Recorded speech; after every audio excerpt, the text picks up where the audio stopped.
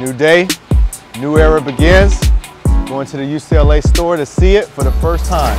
Welcome to our new shop. This is the new Nike shop. Jordan, yeah. Wow, look at this right here. How cool is that? Ooh, I like how this feels right here, these, sh- these shorts. I love the material on that.